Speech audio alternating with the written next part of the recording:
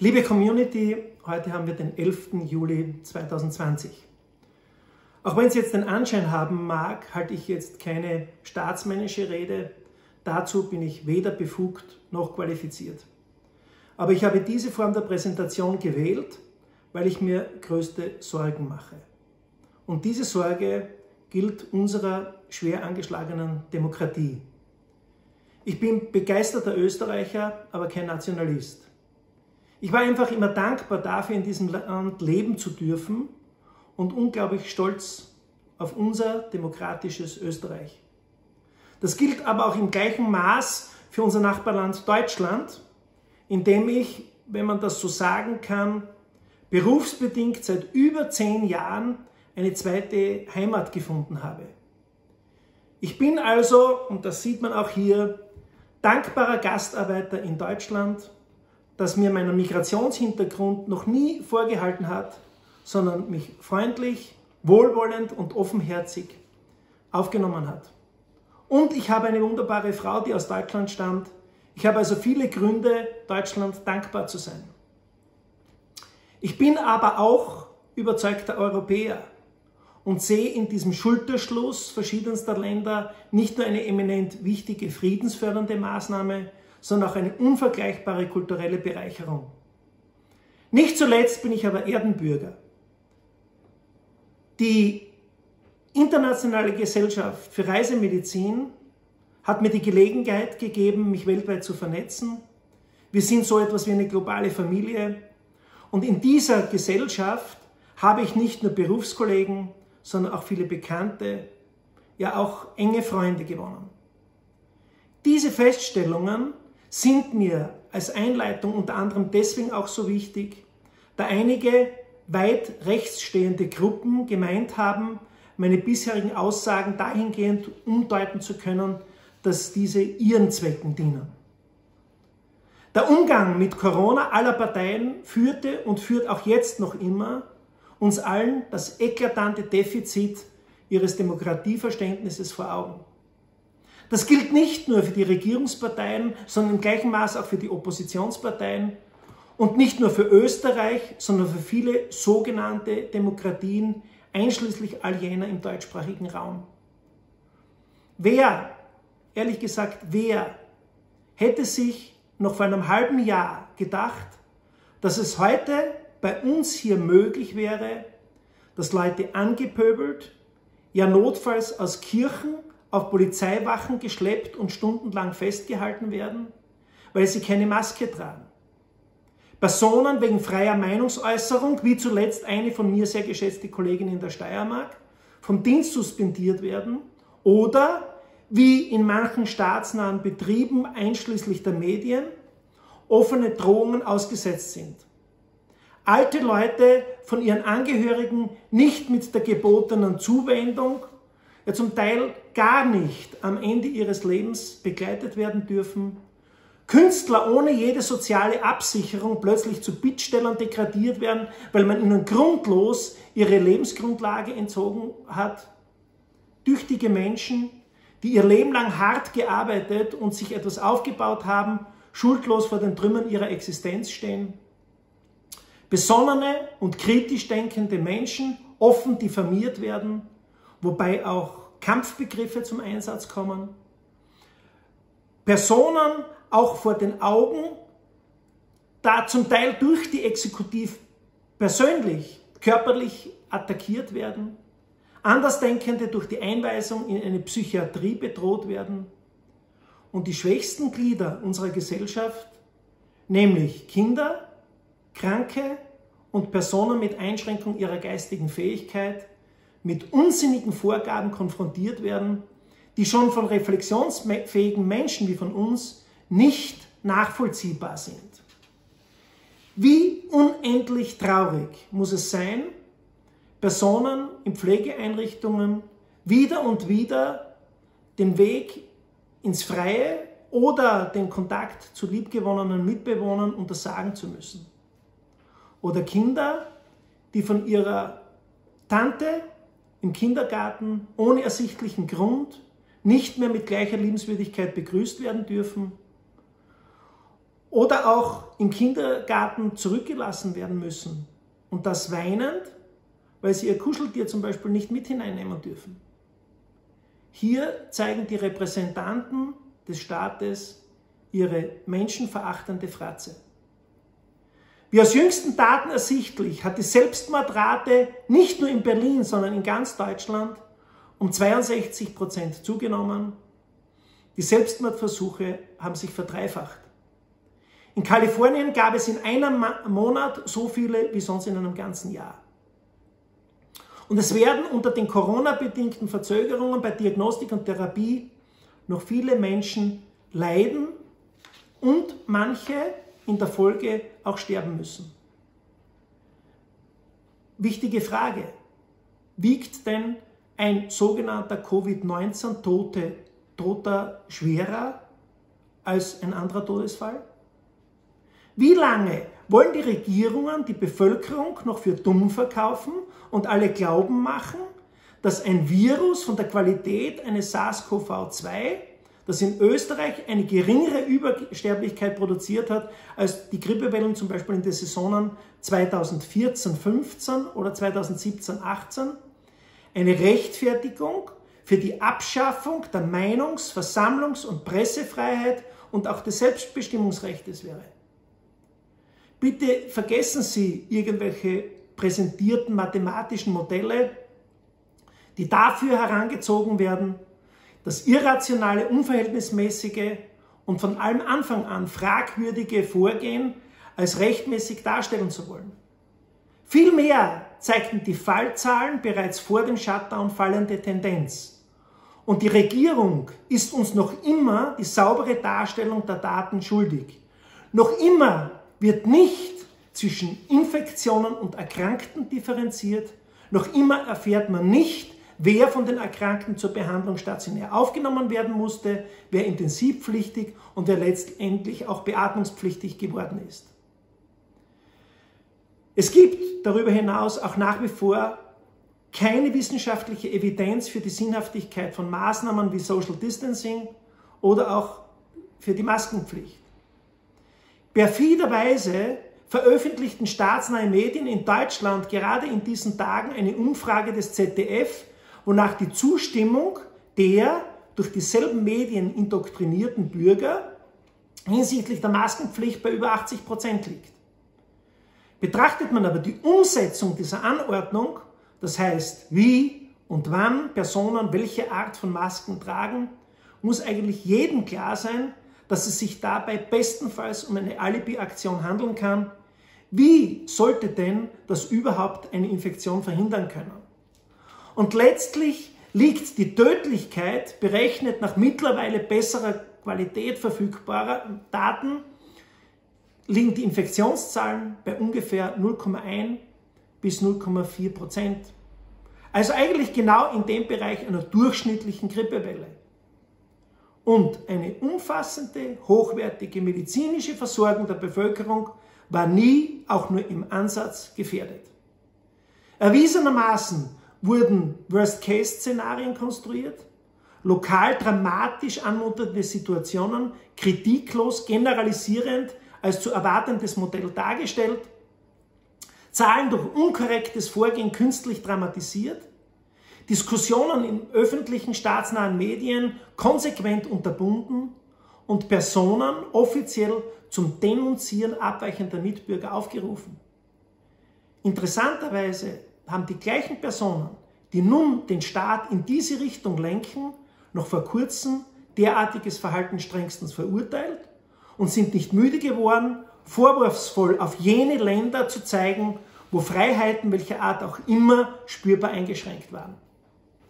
Die Folge der aktuellen Vorgaben waren und sind Angst und Panik, ein Volk in Schockstarre und, und das wiegt vielleicht sogar am schlimmsten, ein gigantischer Vertrauensverlust in unser Staats-, Wirtschafts- und Rechtssystem, gepaart mit oftmals berechtigten Zukunftsängsten, die allesamt durch immer neue Drohungen wie zweite Welle, neuerlicher Lockdown, drohende Insolvenzen prolongiert und befeuert werden. Wir müssen uns alle dessen bewusst sein. Wenn wir diese Regelungen in diesem Kontext unwidersprochen hinnehmen, öffnen wir dieser Methode für die Zukunft Tür und Tor.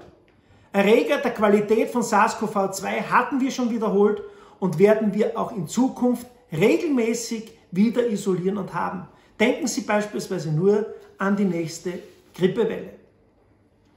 Dass es möglich ist, in Ländern wie Österreich, Deutschland und dem Bollwerk, dem Paradebeispiel der Demokratie, nämlich der Schweiz, unter dem sachlich nicht einmal ansatzweise begründeten äh, oder begründbaren Vorwand der Schutzbedürftigkeit der Bevölkerung handstreichartig die Demokratie außer Kraft zu setzen, macht mir Angst. Und ich habe realisiert, die Demokratie ist kein Selbstläufer. Glücklicherweise ist es gelungen, mit einigen wunderbaren und sehr unterschiedlichen Menschen hier in Österreich das Netzwerk Respekt zu begründen.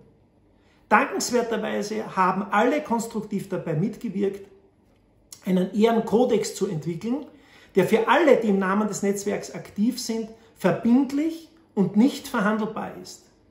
Jeder dieser Buchstaben steht für einen Kernbegriff.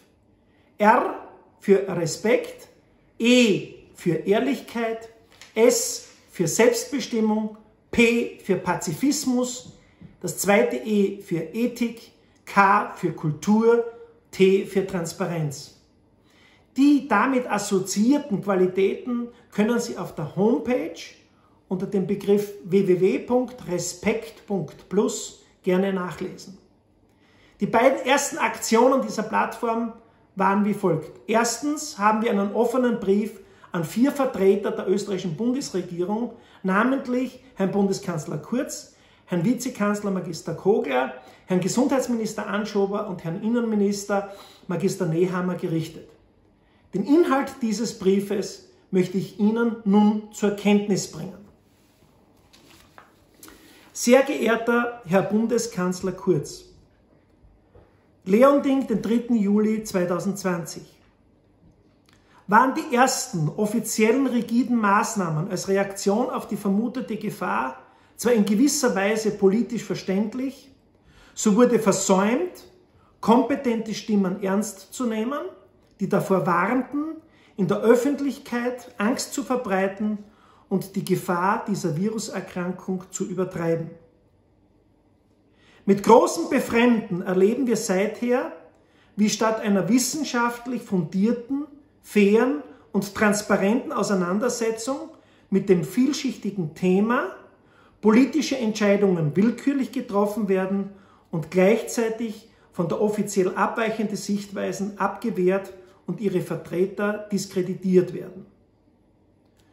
Die Grundrechte außer Kraft gesetzt, den öffentlichen Raum erstickt die Volkswirtschaft beschädigt, soziale Gegensätze verschärft, unmenschliche Kulturtechniken erzwungen. Die Bilanz nach zwölf Wochen Lockdown ist verheerend. Die dafür Verantwortlichen müssen sich die Frage gefallen lassen, wie es dazu kommen konnte. Unter Berücksichtigung der Gegebenheiten des österreichischen Gesundheitssystems war unter Beobachtung der epidemiologischen Situation bei verantwortungsvoller und sachlicher Bewertung schon frühzeitig erkennbar, dass der befürchtete Kollaps des Gesundheitssystems ausbleiben würde. Die durchschnittliche Auslastung der Intensivbetten lag unter 10 Prozent. Die Zahl der Neuinfektionen war bereits in der zweiten Märzhälfte rückläufig bevor der sachlich völlig unnötige Lockdown überhaupt greifen konnte. Das Verbot von Massenveranstaltungen hatte bereits gewirkt. Alleine hierdurch wurde die Ausbreitung nach einer Studie, die im angesehenen Wissenschaftsjournal Science veröffentlicht wurde, in etwa halbiert. Bald war vielen kompetenten Epidemiologen und anderen angesehenen Fachleuten klar, dass ein Lockdown zu keinem Zeitpunkt notwendig oder auch nur gerechtfertigt war. Im Gegenteil, er war politisch überschießend und verursachte in medizinischer, psychischer, sozialer, wirtschaftlicher und kultureller Hinsicht schwere Schäden. Gegen besseres Wissen wurde über Politik und Medien Angst in der Bevölkerung geschürt, um vor den wahren Schäden des Lockdowns abzulenken und die getroffenen Entscheidungen nicht sachlich rechtfertigen zu müssen. Noch eine Woche nach Überschreiten des Zenits bei den Neuerkrankungen wurden Zehntausende von Toten und der unmittelbar bevorstehende Zusammenbruch des Gesundheitssystems verkündet. Bis heute fehlt eine öffentlich zugängliche Dokumentation der Daten, aufgrund derer die Entscheidungen getroffen wurden. Wir, die Unterzeichnenden, sind der Auffassung, dass die offiziellen Informationen nach wie vor unnötigerweise Angst verbreiten und dass die vielschichtigen, aber absehbaren Folgeschäden der Maßnahmen in den Überlegungen zu kurz gekommen sind. Da sind zuallererst die medizinischen Kollateralschäden zu nennen, die entstanden und noch lange nicht behoben sind, weil fast drei Monate lang notwendige Behandlungen mit Verweis auf Covid-19 nicht durchgeführt wurden, ja zum Teil nicht werden konnten. Dazu kommen massive Einschränkungen im Kultur- und Vereinsleben und die unabsehbaren psychosozialen und wirtschaftlichen Schäden mit ihren unmittelbaren und langfristigen Auswirkungen. Vereinsamung, sprunghafter Anstieg von Arbeitslosigkeit, unmittelbarer Einkommensverlust und Belastungen durch Wegfallen von Schule und Kinderbetreuung haben vor allem die sozial Schwächeren unserer Bevölkerung getroffen und werden noch lange nachwirken. Den Blick nach vorne gerichtet, erhoffen wir von den Verantwortlichen die Einsicht, überschießend reagiert zu haben und die Bereitschaft, unsere Grund- und Freiheitsrechte umgehend, vorbehaltlos und vollständig wiederherzustellen. Zudem sollten aus der Corona-Krise dauerhafte Lehren gezogen werden. Die Gesundheitsversorgung muss auch für zukünftige Pan- und Epidemien gerüstet sein. In diesem Sinne treten wir für einen inklusiven und solidarischen Umgang miteinander und für eine am langfristigen Wohl der Bevölkerung orientierte Politik im Sinne der Nachhaltigkeitsziele der Agenda 2030 ein. Wir fordern keine neue oder alte, sondern eine verfassungsmäßige, demokratische und zukunftsorientierte Politik. Dieser Brief wurde von zahlreichen Persönlichkeiten unterzeichnet. Diese Liste wie auch den Inhalt des Briefes können Sie gerne noch einmal auf der Homepage der Plattform Respekt nachlesen. Zweiter Punkt. Wir haben auf der Basis dieses Briefes eine Petition im Internet gestartet und ersuchen um rege Beteiligung. Manche von uns haben persönlich erfahren, was es heißt, sich derzeit offen, kritisch zum Vorgehen unserer Bundesregierung zu äußern. Somit habe ich und haben wir volles Verständnis dafür, dass es aus diesem Grund manchen Personen auch aus existenziellen Gründen noch nicht möglich ist, sich aus der Deckung zu wagen und diese Petition offiziell zu unterstützen. Wichtig, es gibt auch die Möglichkeit, die Petition ohne namentliche Nennung zu unterzeichnen.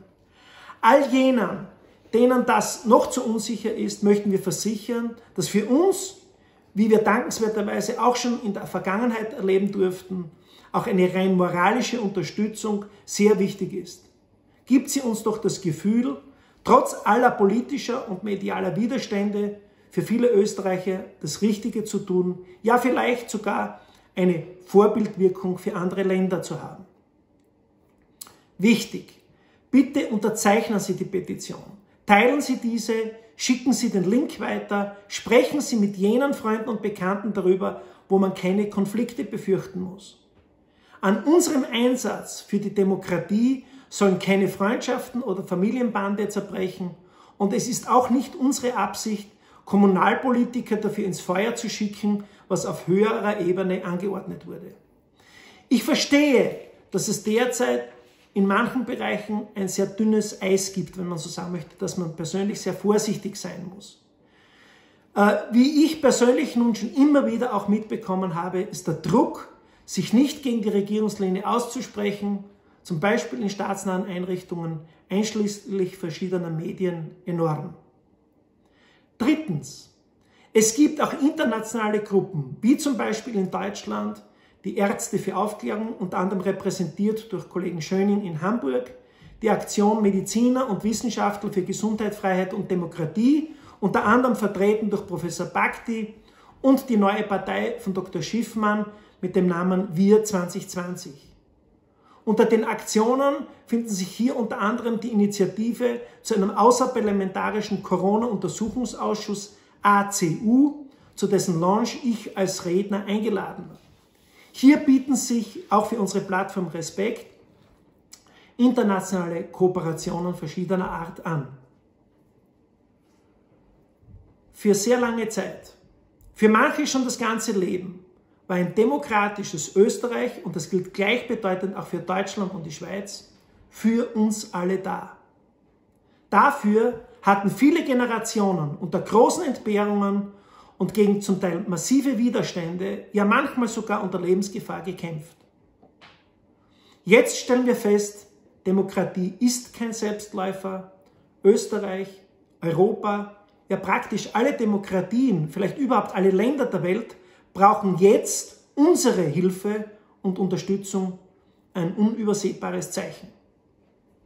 Mit anderen Worten, es geht um nicht weniger und nicht mehr als das Überleben der Demokratie, auch in unseren Ländern Österreich, Deutschland und der Schweiz. Die Liste zu den unterschiedlichen Gruppen und Aktivitäten sehen Sie bei der Beschreibung hier unten aufgelistet. Gehen wir es an, retten wir unsere Demokratie. Ich wünsche uns allen bei diesem Unterfangen viel Erfolg und vielen herzlichen Dank fürs Anschauen.